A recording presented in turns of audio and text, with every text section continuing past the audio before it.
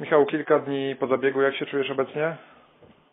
Nie jest źle, nie jest źle. To znaczy, miało być troszkę lepiej, ale okazało się, że troszkę poważniejsza sprawa wynikła niż, niż tylko łąkotka. Właściwie to był mniejszy problem.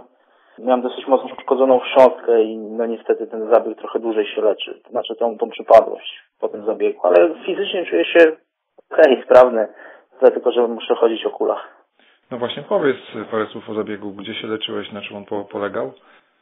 To była tak, zwykła, znaczy zwykła artroskopia, mm, czyli wejście do, do, do, do kolana, do stawu i no, zabieg polegał na, na, na, na wierceniu tego miejsca, bo dosyć duży ubytek był w, w stawie, w kości, na, na, na, na chrząstce właściwie, to jest ubytek chrząstki i, i na, na wierceniu jakby tego miejsca, żeby się no, z biegiem czasu zabliźniło i, więc na tym to polegało. Tam mamy jeszcze parę kosmetycznych spraw w kolanie zostało zrobionych, ale właściwie to była taka główna rzecz.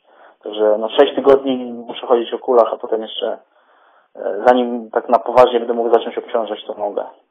A jesteś już w domu, czy w szpitalu? Tak, tak, tak.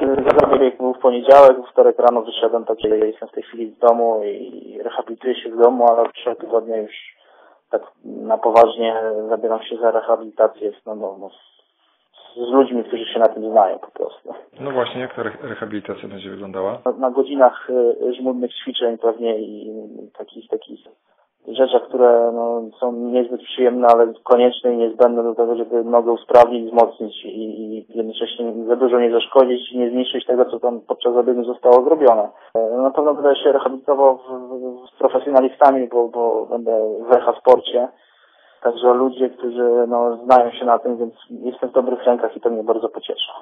E, ten zabieg e, był w takim no, troszeczkę specyficznym dniu, bo w, e, w dniu, kiedy graliście derby z Zagłębiem, klubem, który, w którym spędziłeś, jak, jakoś śledziłeś przebieg tego spotkania?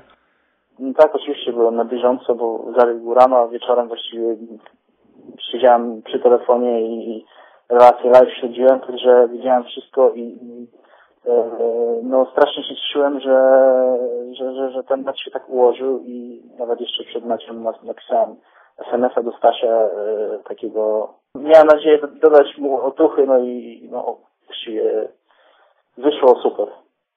Dokładnie, wyszło super. Powiedz jeszcze, mówisz, że 6 tygodni będziesz e, chodził o kulach. Kiedy wrócisz na parkiet, żeby już za zacząć trenować z kolegami z piłką?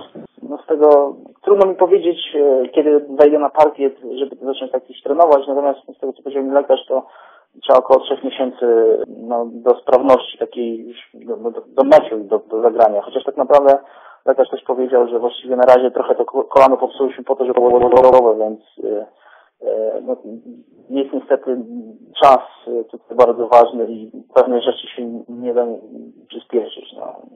Bym chciał jak szybciej, ale no mówię, no, po tych sześciu tygodniach dopiero od, odstawiam kulę, bo w tej chwili nie mogę za bardzo tej nogi odciążać i, i po tych sześciu tygodniach, no trudno mi powiedzieć dokładnie, natomiast mówię, no to około trzech miesięcy, jak mi powiedział lekarz, jest powód do, do, do, do takiej stuprocentowej sprawności, do, do, do, do użytku, o tak powiedzmy. Jasne. Michał, trzymamy kciuki. Czego oprócz zdrowia e, możemy życzyć?